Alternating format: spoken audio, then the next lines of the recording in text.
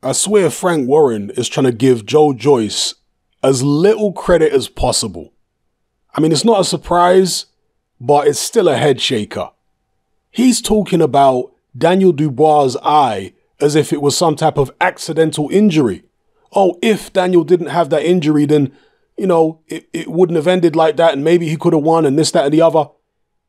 That didn't happen from some clash of heads or one big punch. No, that eye was a long time in the making throughout the fight, courtesy of Joe Joyce's jab. Joyce was landing accurate jabs from the first round consistently, constantly pinging the eye. So to say if Dubois didn't have that injury on his eye is ridiculous. Because he was always going to end up with that injury on his eye, getting hit that often with Joyce's jab.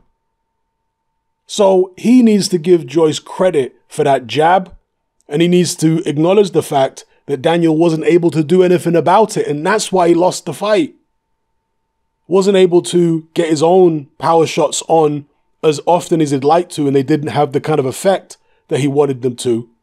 And on top of all that, the fight was competitive and close up until that 10th round. If Daniel Dubois had toughed it out, even if he just tried to survive the next few rounds, Apparently, one of the judges had Daniel Dubois eight rounds up. I haven't checked yet on BoxRec if they've got the scores up on there yet. But apparently, one of the judges had it eight rounds, had Dubois up by eight rounds. That's crazy. Another one of the judges also had Dubois up, I think, by a couple rounds. And then the third judge had Joyce up. So one of the scorecards there, absolutely scandalous. you can see who they wanted to win uh, allegedly.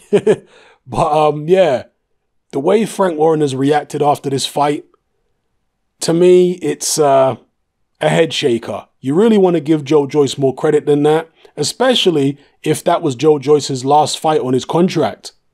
Because you're not going to make him want to sign with you again by not giving him the credit he deserves. So don't compound your uh, your uh, your misfortune, Mr. Warren, by not giving Joyce the credit he deserves, because you were backing openly Joe uh, Daniel Dubois before the fight, which to me was really a big mistake. If you're promoting both guys, you want to try and stay as neutral as possible. When you're going into a 50-50 fight like that between two unbeatens, you want to hedge your bets. But no, he was all in on the Daniel Dubois train and it came to a, sh- a shuddering halt. It crashed.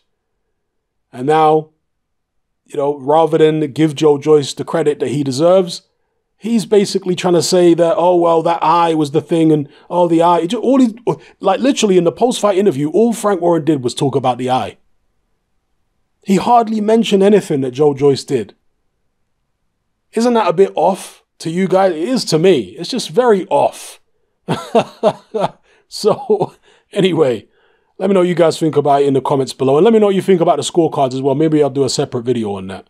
It's one thing calling for an immediate rematch if a fighter loses on points or gets knocked out. But when a fighter quits and isn't getting badly beaten up and they still quit in the fight, and then you want an immediate rematch, and by the way, it's not Daniel Dubois who wants the immediate rematch as far, at least not as far as we know at the moment.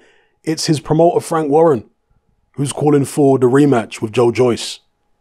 That to me smacks of desperation by Frank Warren because we know that he was heavily in favor of Daniel Dubois, which, as I've already said, I think is a or was a big mistake as a promoter when you're putting two of your unbeaten prospects up against each other like that. From a business point of view, you want to hedge your bets. You don't want to come out and be overtly biased in favor of one of them over the other. It's just bad business. Because, especially in heavyweight boxing, anything can happen.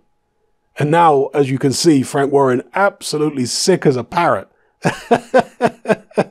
he, he looks like he's seen a ghost, Frank Warren, after that fight. So, yeah, him saying that they should have a rematch and all this kind of business. Who really wants to see a rematch? Has he even asked Daniel Dubois if he wants a rematch?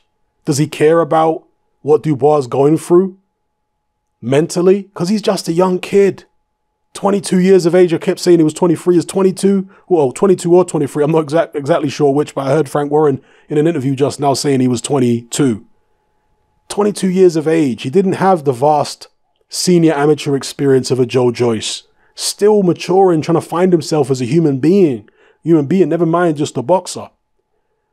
So, and you could see him breaking down gradually in that fight in the corner. He was looking more and more uncomfortable.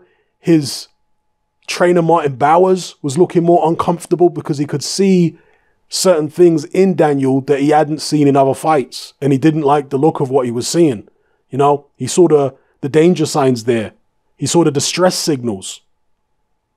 And so to take a guy who's so inexperienced like that and fling him straight back in against somebody who just made him quit. Yeah, I don't think that's a good idea. This is not champion world championship level boxing. This is not an experienced guy like an AJ or a Dillian Whyte who's fighting at that kind of championship level, or in the case of Dillian Whyte, just below. No, this is a young kid.